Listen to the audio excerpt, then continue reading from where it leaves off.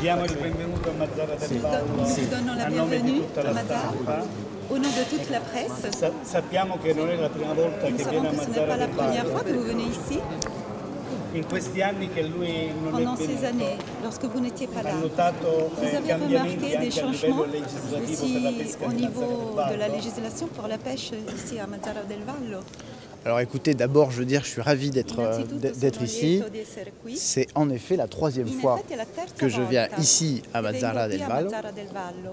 Je suis venu en 2017 Sono et venuta nel 2019 2017 e nel 2019 pour euh, parler dans mes fonctions précédentes eh, de la pêche. Dans cette euh, belle région in questa qui est la Sicile, une région qui est entourée euh, par la mer partout et où l'économie dépend en grande partie de la mer. C'est très important que quand justement nous prenons des législations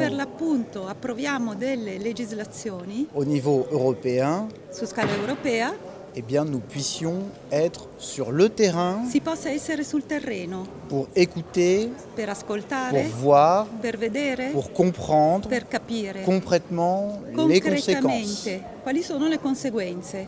Et alors que nous venons de vivre E euh, adesso la crise du Covid, qui a aussi impacté Covid, che pure ha avuto un impatto le- la pêche, le secteur de la pêche, de la transformation, tous ces emplois qui sont à terre comme en mer. posti bien, c'est important que nous venions- e C'est important que nous venions faire le point ici. Et donc c'est pour ça que nous avons cette mission et que nous allons travailler. C'è un sentimento comune fra i Il y a pescatori di Mazzara un del sentiment Vallo commun eh, parmi in les merito pêcheurs de alla Mazzara distanza qui che attualmente concerne c'è la fra distance l'Europa qu'il y e a il entre Mediterraneo. l'Europe et la Ecco, Méditerranée. questa visita è il Cette momento visite giusto est per le moment juste accorciare pour abréger distanza. cette distance. La distance qu'il y a La entre distanza l'endroit où nous che prenons c'è les décisions Tra il luogo dove prendiamo le decisioni et les pêcheurs e i pescatori et les villes et les territoires de pêche pesca toujours trop grande. sembra sempre troppo Et, et je le dis alors que je suis Et élu de la Bretagne. M- Mentre ho molta emozione per la Bretagna. Et euh, la Bretagne est aussi une La grande région de pêche di et j'entends le même sentiment e capisco, la stessa impressione, que parfois les décisions sont loin. C'est bien pour ça que nous venons. Il n'y a pas que des collègues italiens Non ni siciliens. Je suis, euh, Je suis français, il y a un collègue euh, hollandais. Et puis nos collègues dans la commission pêche viennent de beaucoup d'endroits.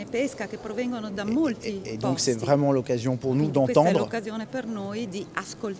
surtout qu'en 2022, soprattutto che nel 2022 nous allons euh, réévaluer, revoir la politique commune de la, la pêche. Et donc c'est très important que Quindi nous entendions si ce que les gens et les pêcheurs veulent nous dire. le persone, i pescatori ci vorranno dire. Quali sono le sfide che il settore della pesca deve affrontare nel Mediterraneo? Les problèmes que le secteur euh, de la pêche doit affronter dans la Méditerranée. Alors en Méditerranée, il y a de Nel nombreuses difficultés qui sono peuvent euh, se retrouver face aux pêcheurs. difficoltà Euh, du poisson qui peut parfois euh, A volte il pesce se raréfier che diventa raro.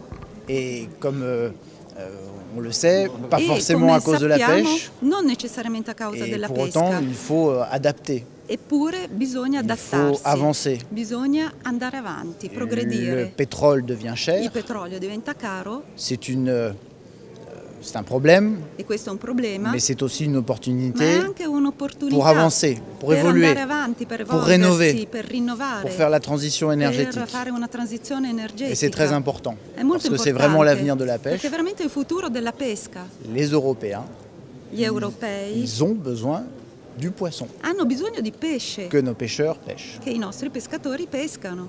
Et donc, euh, on est là pour voir comment est-ce qu'on avance ensemble per vedere come andare pour aller au-delà de ces difficultés. per superare queste difficoltà.